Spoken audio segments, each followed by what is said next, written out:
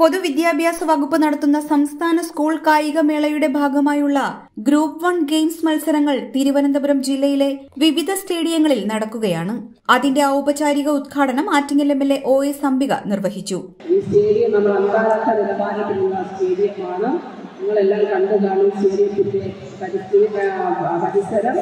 തീർച്ചയായും എല്ലാ ജില്ലകളിലും എത്തിയ എന്റെ വിദഗ്ധരും വിദഗ്ധരുമായ എല്ലാ സ്പോർട്സ് താരങ്ങൾക്കും എം ഹാർദമായി സ്വാഗതം ചെയ്തുകൊണ്ട് വീണ്ടും നിങ്ങൾ വളരോടും വാശിയോടും കൂടി മത്സരത്തിൽ ഏർപ്പെട്ടുകൊണ്ട് എല്ലാവരും ഒന്നാം സ്ഥാനത്ത് എത്തുന്ന കുട്ടികളെ മാറട്ടെ എന്ന് ആശംസിക്കുന്നതോടൊപ്പം ഞങ്ങളുടെ സ്റ്റേഡിയം സംസ്ഥാനത്ത് ഏഴ് സ്റ്റേഡിയങ്ങളുള്ളത് അന്താരാഷ്ട്ര നിലവാരത്തിൽ സ്റ്റേഡിയമാണ് ഇതിനെ ഏറ്റവും ഒന്നര കോടി രൂപ ഉപയോഗിച്ചുകൊണ്ടാണ് ഇതിന്റെ മറ്റ് പ്രവർത്തനങ്ങൾ നടന്നത്.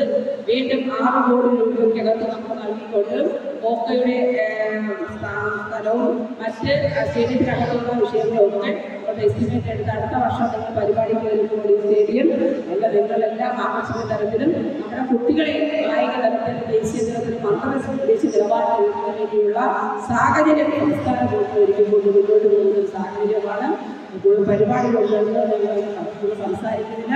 എന്റെ കുഞ്ഞുങ്ങളെല്ലാം അടുത്തതിന്റെ കുട്ടികളും എല്ലാവർക്കും പോസിറ്റീവ് കിട്ടണമെന്നുള്ള ആവേശത്തോടു കൂടി പഠിക്കുക തീർച്ചയായും കളിക്കുക.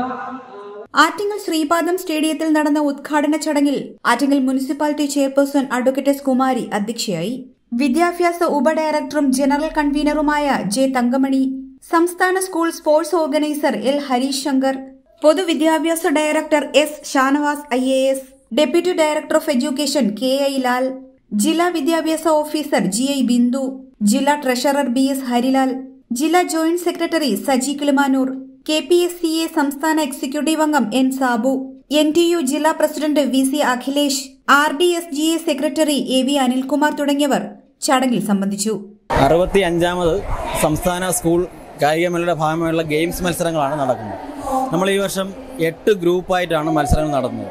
മൊത്തം മുപ്പത്താറ് ഗെയിംസും അതുപോലെ അക്വാട്ടിക്സ് അത്ലറ്റിക്സ് അടക്കം മുപ്പത്തെട്ട് ഇനങ്ങളിലാണ് പൊതുവിദ്യാഭ്യാസ വകുപ്പ് ഒരു വർഷം മത്സരങ്ങൾ സംഘടിപ്പിക്കുന്നത്.